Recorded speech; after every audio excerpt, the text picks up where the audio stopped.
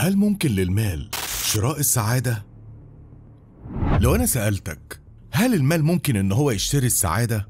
يا ترى هتقول إيه؟ خلي بالك قبل ما تجاوب في علماء ما بينهم عالم حصل على جائزة نوبل توصلوا فعلا إن المال بيشتري السعادة وده بالنسبة لمعظم الناس في أمريكا تابع الفيديو عشان تعرف إيه الحكاية في سنة 2010 في دراسة اتعملت وقالت إن المال بيحقق السعادة عند مرتب 75 ألف دولار يعني لو معاك أزيد من كده ملوش لازمة ولا هيفرق شيء في السعادة ولا حتى الرفاهية.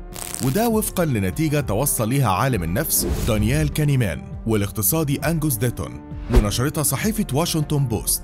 ببساطة لو الراتب بتاعك هو 75 ألف دولار وقررت مثلا تخطي الرقم ده مش هيضيف لك أي حاجة.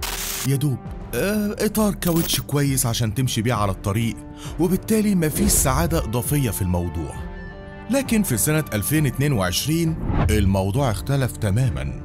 العلماء لقوا إن السعادة ما بقتش ثابتة عند راتب 75 ألف دولار وإن السعادة يمكن تفضل مستمرة بدخل يتجاوز ال 200 ألف دولار بكتير.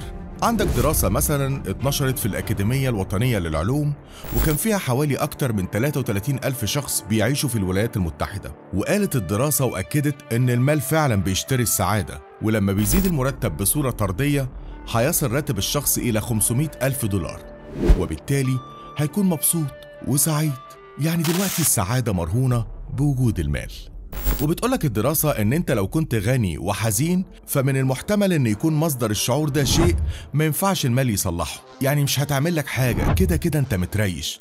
فليه أنت حزين بقى؟ أما بالنسبة للآخرين وهم الفقراء فكل ما بتزيد الفلوس أكتر كل ما بتوصل السعادة أكتر. وهنا عايز أقول حاجة. سواء أنت متفق أو مختلف إن المال بيشتري السعادة فالحقيقة عزيزي المشاهد إن المال أهم أدوات السعادة.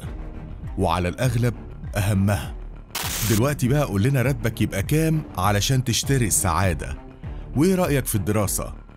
واستنونا في حكايات جديدة من حكايات عين مصر.